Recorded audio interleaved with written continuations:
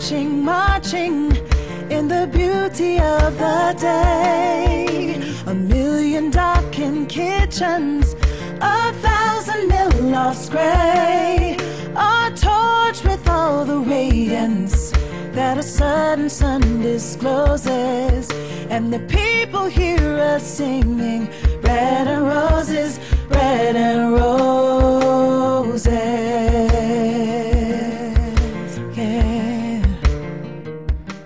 Putting myself at the center of my life experience is really not a threat to you? What if, by taking very good care of my own psychological, social, physical needs, I'm a better partner to you? What if that means I'm stronger and can contribute more? That's what feminism is. It is humanism. I care very deeply about the planet. I work in mad pride issues, survivors of psychiatric abuse. I work in disability rights issues, lesbian, gay, bisexual, transgender, queer issues. I work in civil rights issues. I work in poverty issues. All of these are informed by feminism. Now, what do I mean by feminism? Putting women's experience at the center of what informs my decision making and my priorities. What limitations do women have having lived in, let's face it, cultures that are predominantly patriarchal? To this day, corporations, militaries, governments, patriarchal, dominated by men, men's priorities. It's just true. Anybody who's pretending that that's not true, living on a different planet than I am, or smoking something pretty funny, or just in total psychological denial of the way the world works. Why do you think there's so much stuff about queers getting married and queers in the military and yada, yada, yada? It's because weak, insecure, damaged men and women who support them actually believe that if there's gender equality, in fact, if we bust the gender binary, that somehow that's going to take something away from this little house of cards that they've built for their own egos and psychological damage. We're no threat. We're only a threat because they imagine it. Look at apartheid. Anyway, some of you that weren't even born when apartheid fell.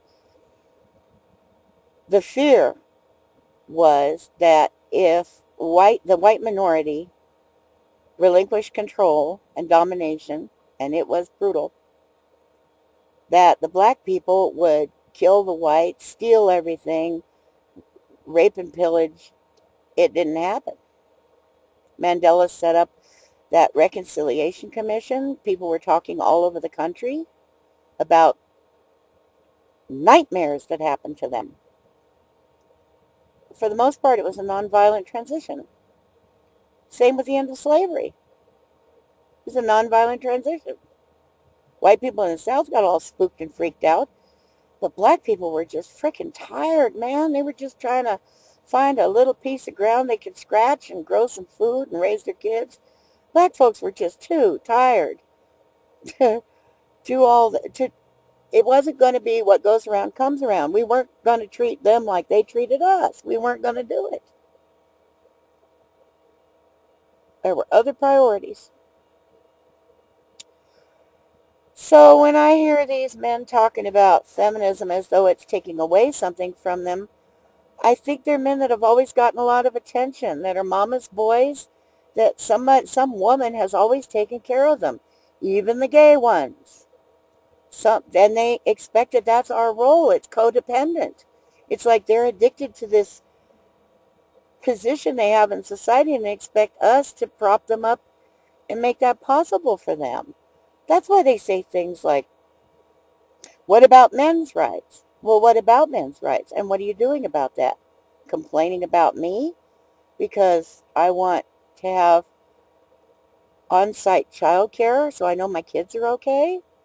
Because I want equal pay if I have to be in the military, because I want to be able to walk down the street at night without worrying that the next guy that I see is going to kill me or rape me. Yeah, we do have to worry that men are going to rape us. Now, whether you want to interpret that as every man is a rapist, every man is not a rapist. Every stranger on the street who is male is a serious and potential threat. We don't know them. We know that we live in a culture where it's hunting season on women and queers. Excuse us for being a little worried. Doesn't make us paranoid. So for me, I am a humanist, and I put feminism as the center of my discourse because how can I help humanity best? To me, it looks like I need to look at women. I need to put women at the center of my thinking. If you look at the history of this continent, North America, particularly the United States, you look at the history of it by putting women at the center, this is a different country. You see things so clearly beyond the banners and the red, white, and blue and the John Philip Sousa marches. You see things so clearly because it's all women. Every race, every age, every level of ability, every level of education. You see this country differently. You see it very clearly. You see what its potential is for greatness, and you see where it has squandered and failed miserably because of the false power dichotomy. And don't tell me there's no patriarchy. The military, the governments, the corporations, the religions, all dominated by men, overwhelmingly dominated by men.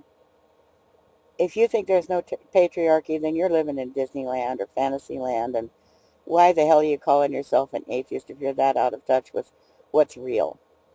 There is a patriarchy.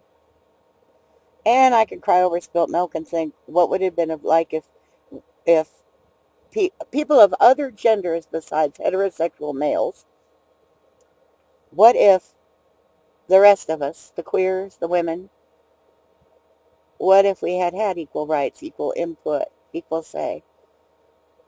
You know, you look at some Native American cultures and the women who had so much power on things like war councils. If we're going to war, the women need to know about it because it's probably going to be the men who are going to be the predominant warriors and the women are going to be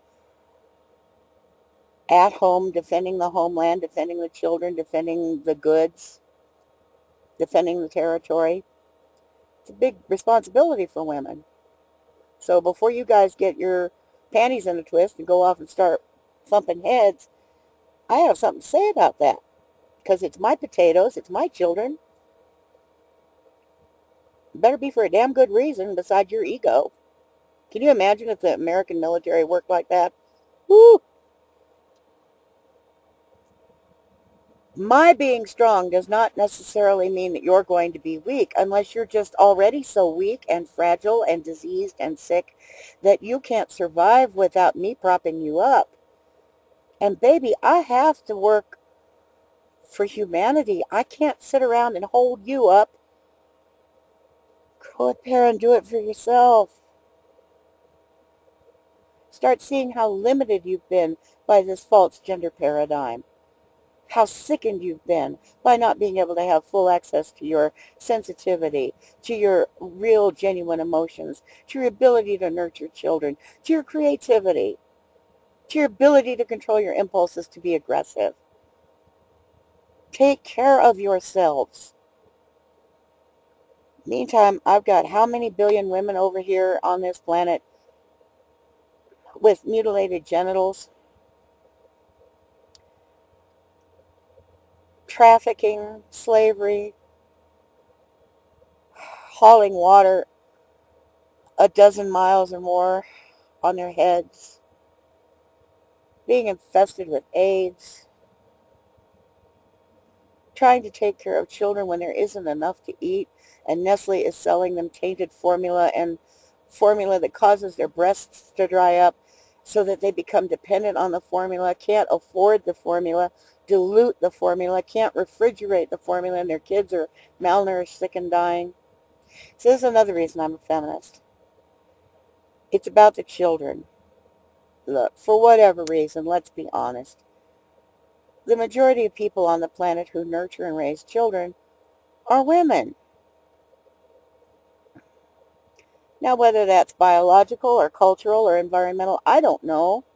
I know it's been enforced politically, militarily, religiously, that that's our duty and our job. I don't have any children. But my philosophy has always been if it's not good for kids, it's not good. If it's not healthy for children, it's not healthy. And that should inform all of our decision making. Do you see corporations doing that? Do you see governments and militaries doing that? Do you see religions doing that? Hell no. Am I saying that's men's fault? I don't know all men. I know that the patriarchal institutions that are in place are ignoring it. I know those institutions are male dominated. I'm no threat to you. You know, if I do civil rights work, disability rights work, queer rights work, mad pride rights work, poverty rights work, that doesn't make me a threat to you. Just because you're middle class or you're not you don't have mental health issues or you're not disabled or I'm not a threat to you because I care about my people. So I wish these mama's boys would climb off their high horses and roll up their sleeves and help. Either that or shut up and get out of the way. Because the hubris, the obstacles they raise, the fact that they dominate the conversation so totally that when you look up feminism on YouTube, you see all these men, white, able-bodied, middle-class, American, and UK men, like they're big experts, dissing us. When all we're trying to do is keep ourselves, our sisters, our mothers, and our kids alive and healthy, beyond alive, beyond basic survival. Somebody's got to lobby for the children. Somebody's got to lobby for women. It doesn't take anything away from you. So yeah, I'm a humanist, and I focus it through feminism, through queer rights, poverty, abilities, disabilities, and mostly children.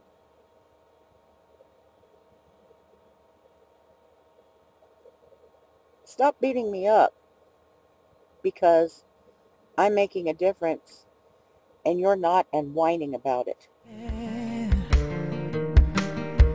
As we come marching, marching, we battle to for men, for they are women's children, and will mother them again.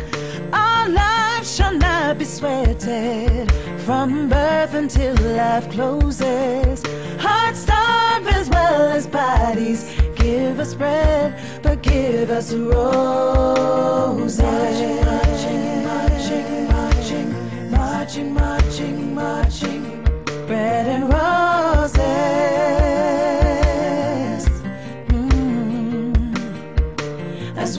Marching, marching, a number of women dead who crying through us singing Their ancient cry for bread, small art to love and beauty. Their judging spirits new. Yes, it is bread we fight for, but we fight for roses too.